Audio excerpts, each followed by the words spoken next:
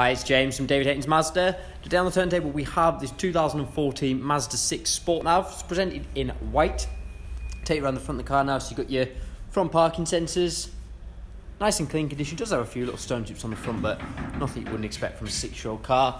Down to the side, you've got nice silver alloy wheels. They're all in great condition. Tyres are really good. Down the sides, nice and clean. You've got your keyless locking and entry on the doors. Privacy glass on the rear windows. Again, your wheels are all nice and tidy. Just coming around to the back. So we've got reverse sensors as well as a reverse camera. Got the dual exhausts. Coming around to here again. Wheels nice and tidy. Tyre life's really good. There's no nasty scratchy scrapes or dents down the side. And there is your final alloy wheel there. Again, nice and clean with plenty of life left on the tyre. So, just let it go round.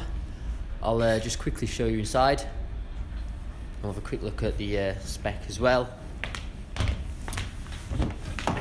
So you've got electric front and rear windows, electrically adjustable folding mirrors, Bose audio, you've got full black leather interior, electrically adjustable driver's seat with memory function, cruise control and speed limiter, and multifunctional controls on the steering wheel.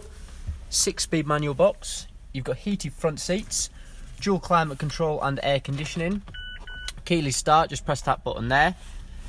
Multimedia screen, you've got TomTom sat nav in there, uh, you've got your Bluetooth, and you've got all your radio and everything as well. So there we have it, a 2014 Mazda 6 Sport Nav.